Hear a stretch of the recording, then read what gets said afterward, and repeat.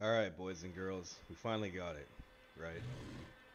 Our class got buffed a lot. So, this video is just going to be going over the changes and what to do from last time, okay?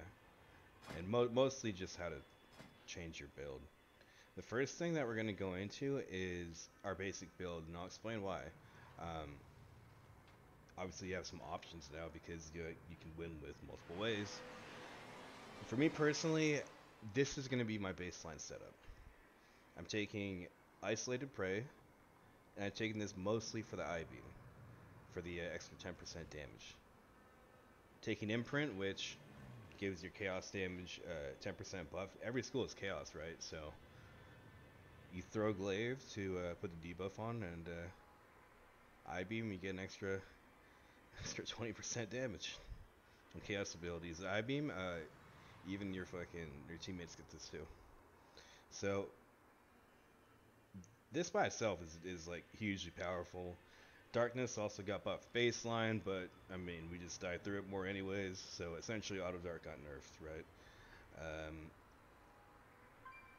they did lower Unbound a bit from 600% to 5.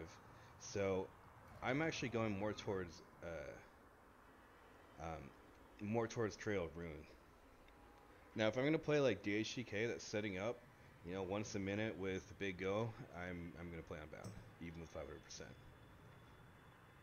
Such, uh, right now, comp wise, so DH Warrior, my favorite comp. Play DH Warrior, get rating, right? If not, DHDK, and then if not, you have essentially any other class you can work with right now. DH Destro is really good. Um, I don't think that there is a class that you can play with right now and not succeed, but the ones that will be easiest and best is going to be Warrior and DK. Healer wise, Arjuna Arsham.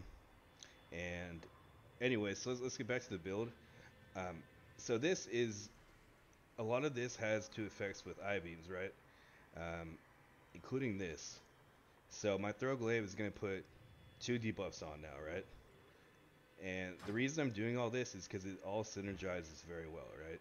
So this gives increased Eye Beam damage, which is uh, already getting buffed with isolated and with imprint. So I have I have a large number of modifiers into uh, into Eye Beam, and playing it with Darkglare Medallion is, I mean, it's actually like really troll. It's so good. So I'm doing that. I still take Soul Rending. Um, there's a lot of times the Netherwalk's better. Damage is really high right now still. So, again, there's multiple ways you can do now, but this is kind of my preferred setup, right? So, rotation-wise, the first thing that I look to, and I call it to my teammates, is putting up debuffs, right? So, other than that, everything else stays more or less the same, right?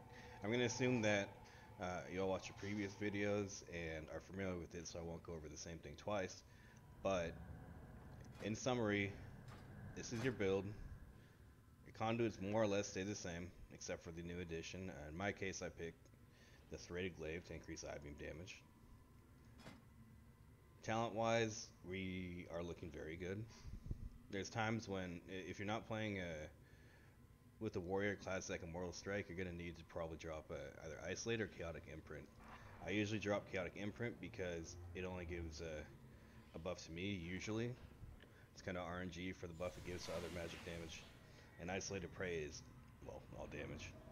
So anyways, uh, thanks for watching. Be sure to tune in. I'll start streaming again more often. And yeah, have fun, uh, have fun crushing an arena.